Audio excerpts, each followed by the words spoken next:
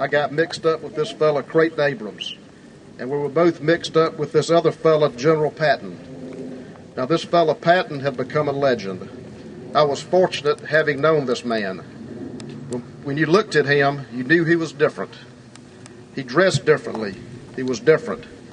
He was dedicated to the proposition that he was a defender of democracy. And I might add that my father thought the same way. Avec le temps qui passait, j'ai connu cet homme qui s'appelait Creighton Abrams et euh, on fréquentait tous les deux quelqu'un qui s'appelle le général Patton. Euh, maintenant, euh, général Patton, Patton, est devenu une légende et je pense que j'ai eu beaucoup de chance de le connaître. Euh, quand, on, quand on le regardait, il était différent, il, il, parlait différemment, il agissait différemment, il s'habillait différemment, il était simplement différent. Et il était vraiment un vrai défenseur de la démocratie. Et euh, je crois que j'ai pu ajouter que mon père pensait de la même façon.